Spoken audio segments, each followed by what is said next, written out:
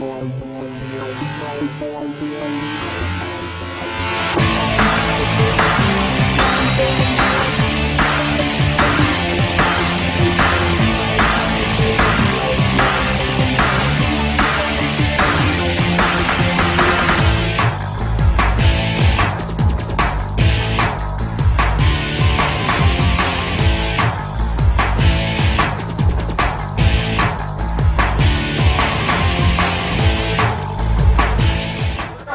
Grab the other end of the stick. Make sure this is in fact a real fire that I'm using.